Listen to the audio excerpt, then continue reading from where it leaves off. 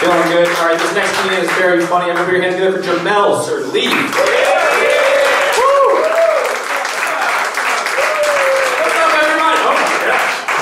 I'm so lonely.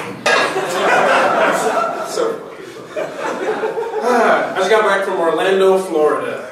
Uh, four out of ten would not recommend. it's pretty terrible. That's the only flight you can get on where you worry about the maximum capacity. Like at first class, I was like, okay, the, I forgot people got fat like that. I forgot they made sandwiches like that because I live in New York. It's totally different. Here's something that's controversial. Um, I don't want anybody over 60 sitting next to me on flights anymore. Um, I don't want to get to know you at all. Please don't talk to me. There's some dumb shit too. I'm coming back from my sister's wedding in Florida. I don't care. you know I don't get these movies at home.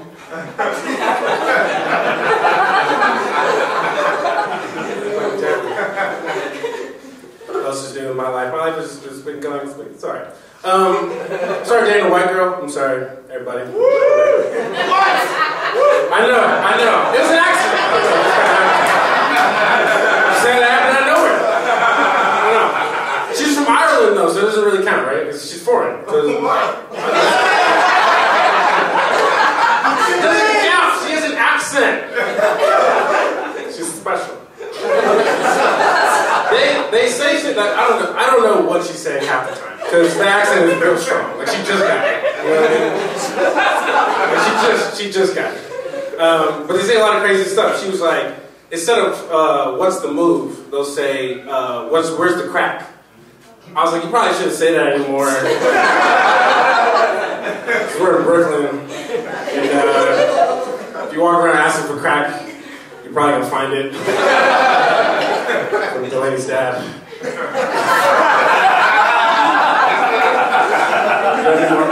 She's been asking about it all day. I don't know what to do.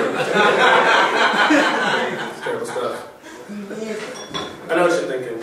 You're like, is this Indian guy black or black guy Indian? What the? I know. I don't know anymore myself, to be honest with you. It's like the hair. It's the hair. I understand. I used to get bullied a lot actually for this hair.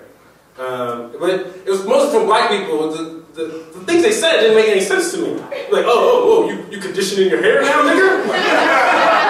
yeah, I thought I was supposed to do that. I'm sorry. I apologize. I don't, I don't know, ridiculous. I think about race a lot. It's kind of hard not to when you look like this. it's tough. I had a friend uh, couple years ago, I think about this all the time. Um, he was like, Jamell, can I ask you something? Uh, just don't think it's racist. And I was like, okay, well, this is probably going to be the most racist thing I've heard all week. Definitely going to hurt me. But go ahead, bro. It's a safe space. He was like, I've actually never spoken with a black person before my whole life. It's a white guy. How's that impossible? That's that sounds like a really that sounds like you really have to go out of your way to try to do that. I don't know. I talk. I, I've been here for you know 30 minutes. I talked to 16 black people since I've been here. On act, I didn't mean to. I just came up open. Hey, what's up, nigga? Oh, sorry, nigga. Very simple. I, I, what I did like though, and I was like, you know what? I was this guy's first black guy. That's pretty dope. That means I really set a good standard. Imagine just going home like, Daddy,